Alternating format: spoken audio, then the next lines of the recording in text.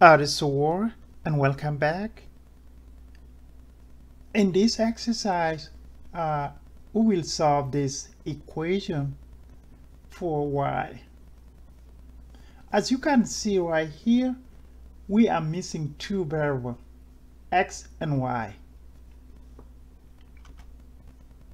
Before we solve this equation, we have to group a number on the right side and then the variable on the left side. And then we be able to solve finding a value of y. So adding 5 to the both sides of the equation, we have minus 5 plus 5, it becomes 0. And why? Because we know when you have it the same number with a different uh, sign, uh, they became a, a zero. And the new equation will look in this way, x times y plus 6 times y equal 18.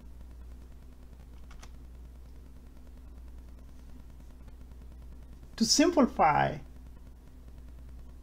you have 18 on the right side as a number. You have a variable with x times uh, y plus 6 times y.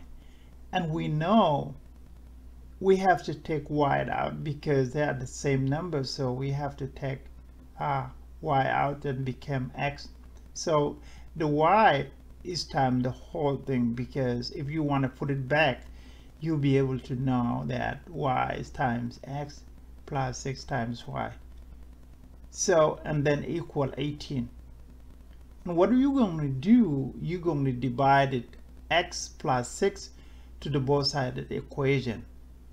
And when you divide the same numbers, these on the left side it became 1 and then on the right side will equal 18 divided to x plus 6 and that's the answer for uh, they're asking you to do because there's no way you can take uh, x to become a zero so this is still the same thing.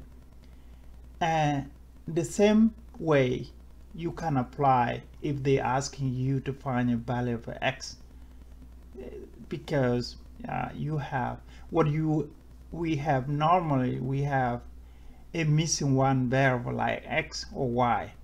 But in this case for our problem we are missing two variables and then that's why the question uh, it becomes asking for one variable which is for this example is y. And you can see uh, the question in different way where they're asking for x.